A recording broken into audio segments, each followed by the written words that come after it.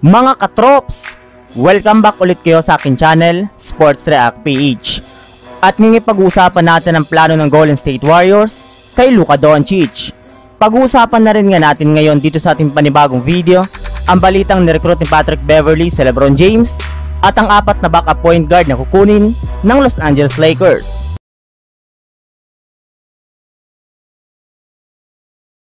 Kahit man nga mga katrops, mas marami pa rin mga eksperto ang naniniwala na ang Golden State Warriors ang paborito na mananalo sa kanilang Western Conference Finals ay hindi pa rin nga magiging madali para sa kanila na tulunin at dispatchayin ng kupunan ng Dallas Mavericks.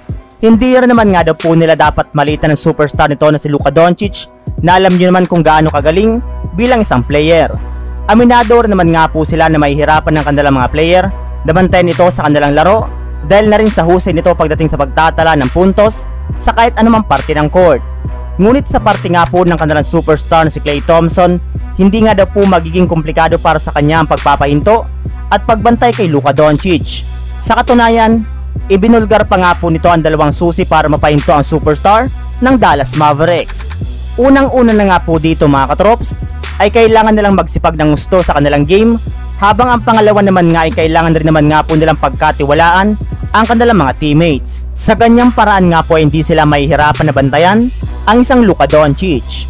Samantala, pumunta naman tayo sa ating sunod na pag-uusapan ngayon sa balitang sinubukan ni Patrick Beverly na i-recruit sa Lebron James.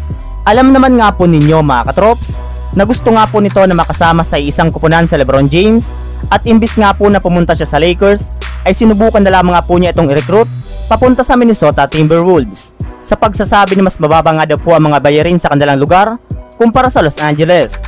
Pinagmalaki naman nga po nito na maganda nga daw po ang lugar sa Minnesota na siguradong magugustuhan ng ilang mga superstar, especially sa Lebron James.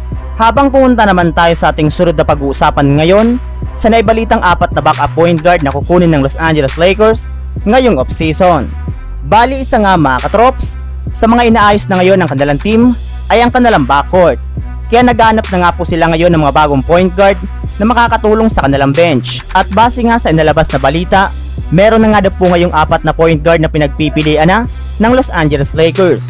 At sila nga ay kinabibilangan ni Nagoran Dragic na free agent na, ang kanilang dating player na si Dennis Schroeder, si Ricky Rubio ng Indiana Pacers, at higit sa lahat, ang kanilang kasalukuyang player na si DJ Augustine na pare-parehong pwede na lang gamitin bilang kanilang backup point guard na makakatulong kina Lebron James at Anthony Davis.